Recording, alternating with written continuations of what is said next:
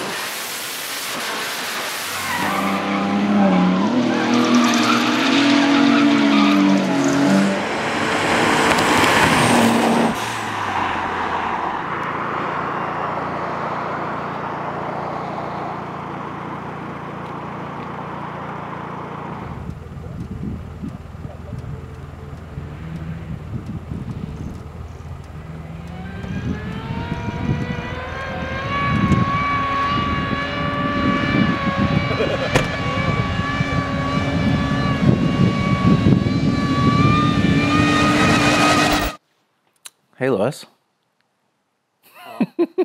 All right. This is something I've wanted to do for a while. I actually have all of my cars here.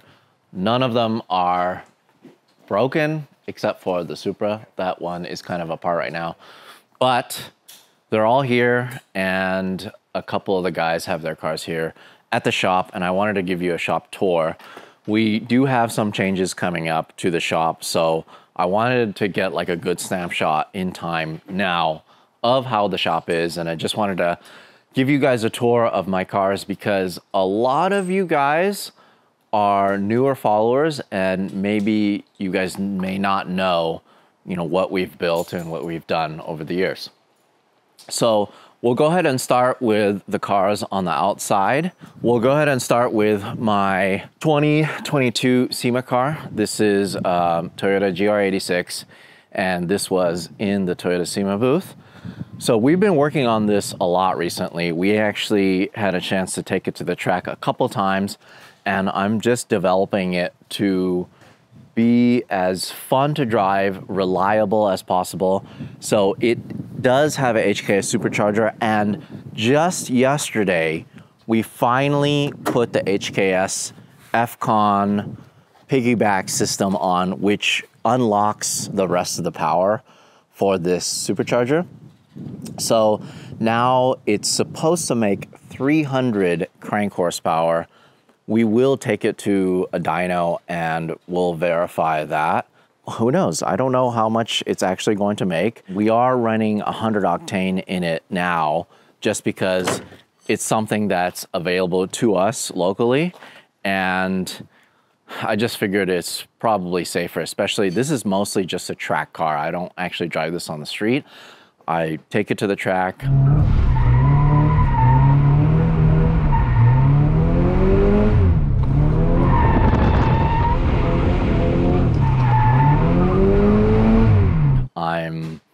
Just really developing my driving skill. Um, part of it is because I honestly quit driving. I quit high performance driving. I quit autocross, time attack, all of that stuff to pursue photography. And after all this time, I'm able to drive again, which is really, really nice.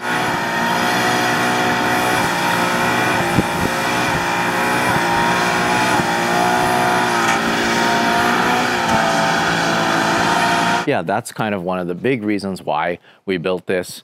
Um, a couple other things that we did since the SEMA show, we actually got with Motegi and they made me a custom set of wheels that that can handle uh, wider tires. So these are 255s, A052s squared, and it is so good. It has so much grip. It's just so much fun to drive.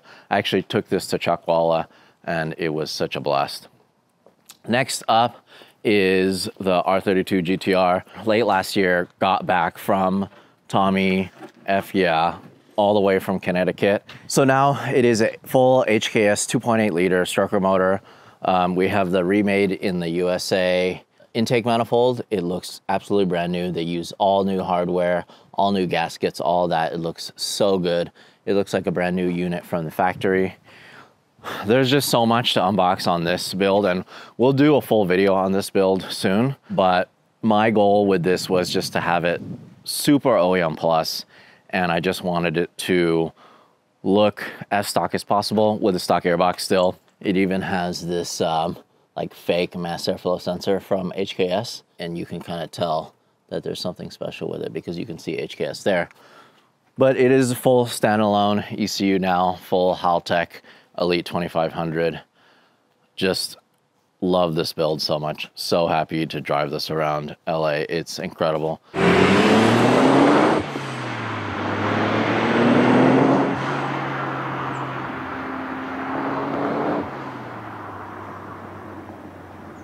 Parked next to it is Louis's GC8. This is full STI swap. So the, underneath it, including engine and full driveline. all of it is uh, 2005 Subaru STI, which I actually had a chance to drive the donor car. But now this is a full on 1998 updated Subaru STI, including all five lug and everything. Subframe, all of it was changed over. So this thing is so awesome. There's a cool little Easter egg right there. Next up, we have the Toyota trucks that I'll talk about. Uh, that is Tyler's E46 drift car that lives here.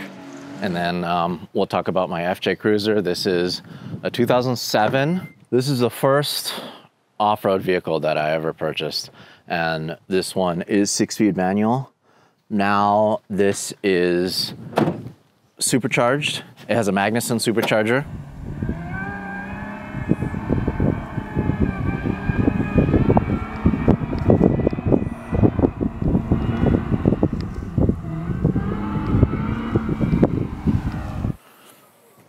So this one is fun in that I only use this for off-road shooting. So the only reason why it leaves the shop is to go to an off-road race and come back from an off-road race. And while we're actually at the off-road race, we're chasing the race.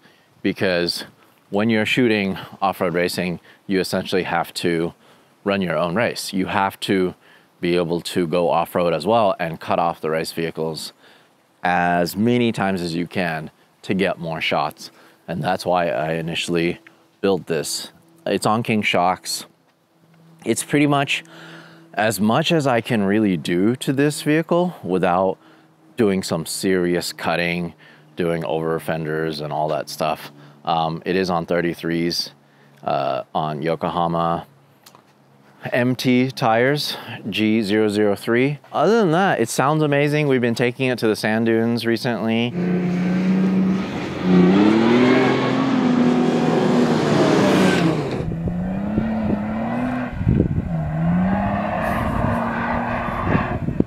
And uh, yeah, it's just such a fun truck to drive, especially on the street because it is six-speed manual.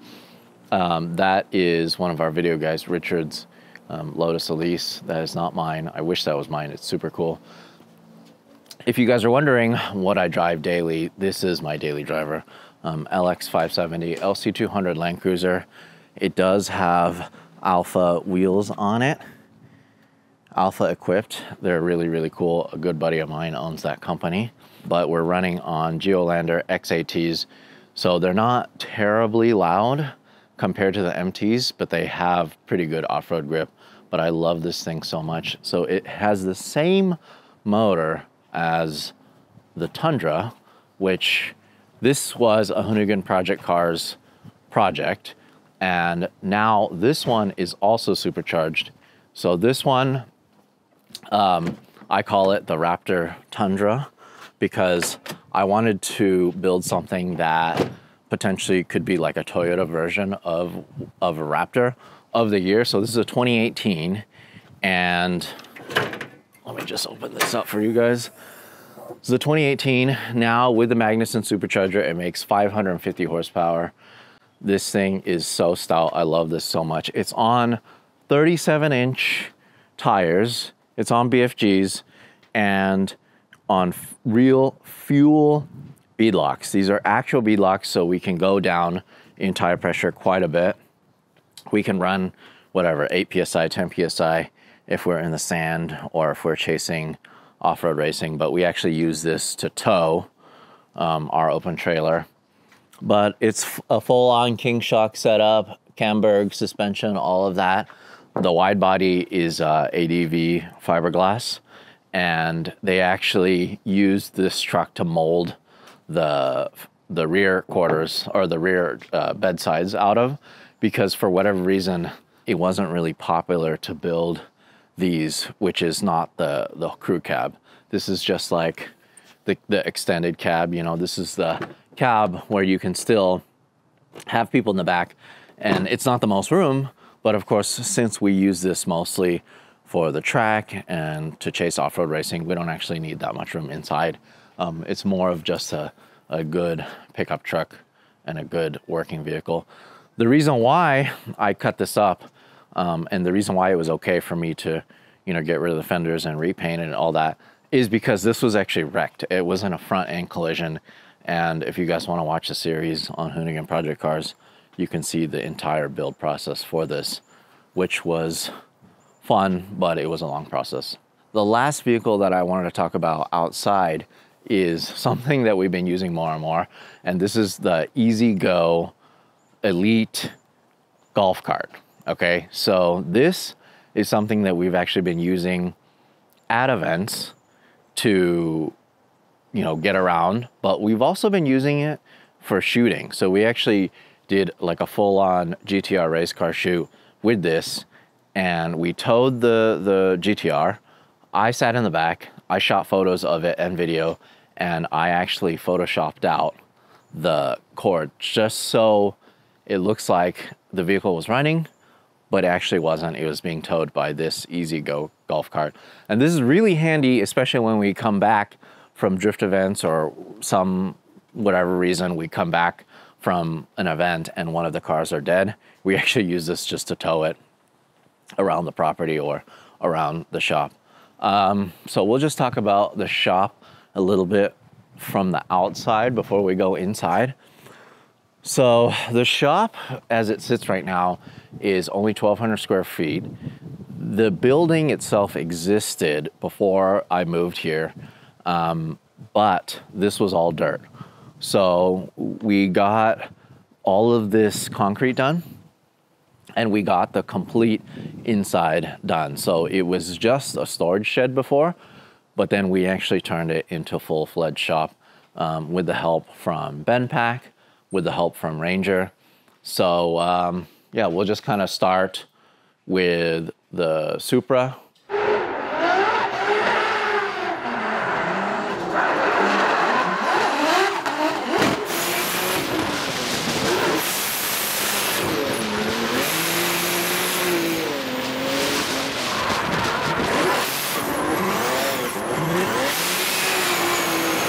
The Supra is up in the air right now because we're doing uh, exhaust. Um, we're doing a full HKS catback exhaust. The cool thing about the HKS exhaust is that it actually has the valve for you to go loud or quiet, depending on what you're doing. If you're driving around on the street or if you're at the track, when you push the sport mode button, this actually opens up and then that way it routes the exhaust out of the right side as well as the left side. So I'm excited to put this in, but right now we're just on a holding pattern. Um, when we have some time, we'll actually put that on. But in terms of the lift, this is a BendPak lift and it is rated to 10,000 pounds and it is pretty tall. So it's 14 feet tall, I think, or 13 and a half feet tall. Um, but the nice thing about this, since it's rated for 10,000 pounds, it actually can lift all of our vehicles, including the Tundra, without a problem at all. But it's a great two-post lift. We love it so much. It is just so useful. It is really cheating to have something like this in a shop. This is kind of like the product section that we have here at the shop. This is a fun little thing that I got at Barrett Jackson. It's just like this uh, Pennzoil. It's actually real glass, but it's super cool. Um, somebody got this quart of oil for me. I don't even know what year this is from, but it looks super old and it still has oil in it. But all of our products are here that we normally use, all the K&N filters for all the cars, um, all of Pennzoil, oil, and then, um, of course, uh, we use Leno's Garage detailing products. Um, you can get these at Walmart, but we have them just on our shelf whenever we need to clean our cars or clean a car for a shoot. This is really cool. Somebody actually found this for me. A gallon of gasoline. It says Datsun saves, but apparently back in the 70s, because of the fuel crisis, when you bought a Datsun or like a 240Z, they would give you this with a full gallon of gas because it says Datsun saves about a gallon of gasoline a day. So cool. Um, so that's the product section. We got a bunch of Type S things like Type S jump packs, a bunch of Type S uh, underglow. Pretty much most of my cars have Type S underglow. I think the only vehicle that I have that doesn't have Type S underglow are the trucks, which I'm guessing that's probably going to change soon. And then also my Porsche. Everything else has Type S underglow because uh, underglow's back in a big way. A lot of AM boxes, more Type S. This is there's like a party in a box right here when you push this. That's super cool. But the toolbox is a snap-on box. This thing is super handy. It has these really cool drawers that actually have power. So that way everything is plugged in, everything charges. So everything is as organized as possible. Um, I've always wanted a box like this. And finally, after pretty much saving up my entire life, I finally have a shop that I can work out of and enjoy cars out of. So yeah, now we have a full on snap on everything for all of our working needs. Is it's just it's just so useful. It's just so cool. There's so much space in this thing for everything. We have like drawers for different things like parts, fuses, lug nuts, whatever. Just a different drawer for everything. Love this box. Oh, there's also this really cool feature. This has this light. So then everything's all lit very nicely when you need to find that tool. There's also power plugs and stuff in the workbench area, which is really useful. Um, all the tables, uh, including the tire machine, all of the other accessories like these jack stands, lifts, um, oil collector, transmission jack, everything else is all Ranger slash BendPak. They're really good people to work with. They're actually located in Southern California. And when they heard that I was building this shop, they really wanted to help out. So it's been incredible to work with them for all of that. Of course, you can't talk about my shop and my stuff without talking about the 240Z.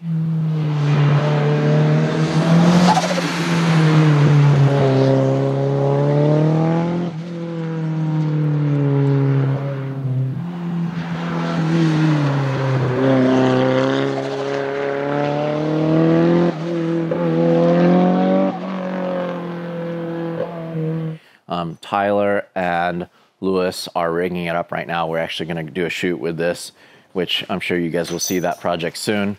So they're going to rig it up for some cool camera shots. But now that this one is fully restored, you can actually watch the full restoration series. I told myself I wouldn't race it anymore, but I lied, of course. I've been racing it. I've been taking it to corner exit autocross, and it's been so much fun to actually drive this 1010s again. Wow, that is some camera setup that you put there. Yeah. Holy cow. Yeah. It's funny because you got this uh, Canon 1DX Mark III camera here, and then the Type S camera yeah, is like shooting backwards. it's kind of an interesting look. But um, yeah, now it's pretty much fully restored. There's just a couple more things I need to do in terms of updating the interior. The interior dash is something I need to restore. That's actually a dash cap and it looks pretty good, but um, I would really love to get a real dash or one that's restored. But these guys are mounting a camera on the Sabon hood. That's gonna be a very cool angle too. So just to back up a little bit so you guys can see kind of the full look of what the shop looks like. It's really small. We can fit six cars in here pretty comfortably. Um, we'll usually park three cars here, one car here, and then we can park two cars on top of each other on the lift, and then one just goes right in this slot right in front of the lift. But generally speaking, we try to shuffle them around. The ones that need to be worked on, you know, we'll put in the lift area. Two more cars that I wanted to touch on. Um, this is my 996 Turbo. I bought this in 2014 and I've been building it since then. In my eyes, this is pretty much the last Porsche or one of the last generations where you can actually work on yourself. Um, of course, the 997, you can still see the engine bay and you can still work on yourself, but the 996 is, of course, a little more affordable and it is just of that era where they're transitioning from air cooled to water cooled. And this thing is just so easy compared to a lot of other European cars that I've worked on. Very reliable, very fun to drive, makes lots of power. And uh, yeah, I love driving it. I've pretty much started converting everything to like a GT3 spec. So like the seats are GT3 seats. They're GT3 Recaros. They're kind of like the alien looking ones. I love them so much. They're so comfortable and they really hold you in. The back seats are, I converted them to black. They were gray, um, but these are like the Millennium generation seats I think. The normal ones kind of have like this soft leather and it doesn't have that texture, but I love the way those look. I think they came on the 2000s. Other GT3 things like GT3 shifter, shift knob, center console delete, that's all GT3. I love the way that looks. I love the one piece dash look. GT3 steering wheel. Just a lot of fun GT3 bits. It sounds incredible. I love the way it sounds and of course the way it drives. Uh, the HRE wheels, super cool. I think that those were actually my first mod, but I just got Advan Apex tires on it after having 8008s and man, this thing, it just changed the way it drove so much. It was really held back by those tires. They're just uh, not as sticky as I'd like for, for the kind of driving I like to do with this car. This is more my Canyon Carver. This is more, as you can see, I drive it pretty hard. It's a lot of rock chips on it. I'm gonna have to replace that lip soon, especially because I hit like a manhole cover or something on the freeway. But uh, yeah, this thing is super fun. Last car is my 350Z drift car.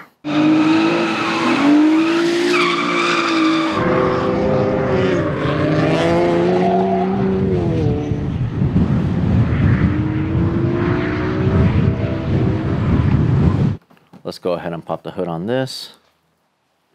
This is pretty much a Z1 Motorsports parts catalog 350Z build. I just looked at what Z1 Motorsports had to offer and I pretty much just took everything that they made and we've tried to put it all in this one build. So this is pretty much as much as I can go without cracking the motor, right? So we actually did just dyno this and it made on a Dynapack 286 wheel horsepower, which sounds a little low, but it's pretty right. These actually came with 305, I think, to the crank stock, and which which uh, actually translated to about 240, 245 to the wheels stock. So this is HR, and this is a 2008. So it's the last year of the 350Z. So it is a still a 3.5 liter, but it is uh, dual throttle throttle bodies, and this one actually makes the most power out of all of the 3.5 liter VQ engines. So we did Z1 Motorsports intake manifold, Z1 Motorsports, um, port and polish intake runners, Z1 headers, Z1 exhaust, Z1 intake uh, with K&N filters. We've just done everything that we can power wise to make as much power as possible out of this engine uh, with the Z1 Motorsports uprev tune and all that. But I just wanted to keep it reliable, so we haven't cracked the engine. We haven't done cams. We haven't done um, any engine work, head work, or anything like that.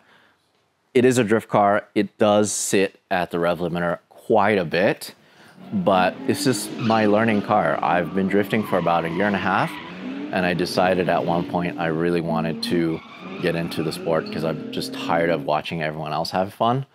So I run Motegi wheels on it. And uh, yeah, this thing is just so much fun. It's great because now I feel confident to get into pretty much any drift car and at least turn some laps.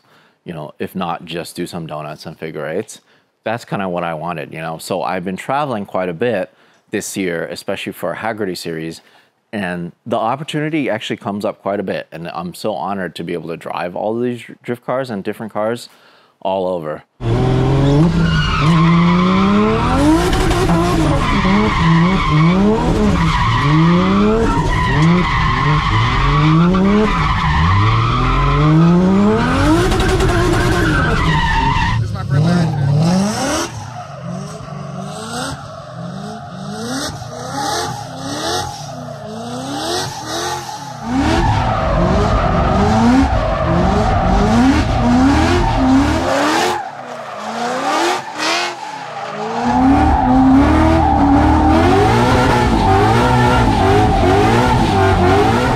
aside from that, we just have like a Ranger press. Can we think of anything else? Oh, Viper chairs. Forgot about those. We got to talk about these. Yeah, cannot forget. Oh yeah, and the crazy cars. We, we, yeah, we got to talk about crazy cars. So while they're getting their crazy carts out, I got to talk about the Viper chairs. They're made in the U.S. and they can custom make whatever color, whatever pattern. Like they embroidered this which is so crazy. It comes neatly packaged. You assemble them yourself. They're so sturdy and so nice to use. We can use them as detailing chairs or I use them to film here all the time. We use them when we're working on cars. Um, they actually also make these cool little smaller rolling benches that are very sturdy. You could put like detailing products and stuff on here. It is so useful and it's it is just a really well built chair. Um, we were using a bunch of these cheap shop chairs uh, that we just got locally here, and they would just fall apart after using them for a little bit. But look at these guys. You're about to run into some car here. I almost died. almost broke my ankle. We can do this. Oh my god. So the guys actually sessioned this, uh, you know, after staring at the computer for a little bit, they need to session and get the. they need to actually do some drifting because it's hard for us to take breaks and actually go to the drift track. You know, the drift track's pretty far. So what they like to do is take these crazy carts out and actually do some drifting just around the property. Look at these guys. Incredible. No big deal. We're just riding these crazy cars around all these priceless cars. A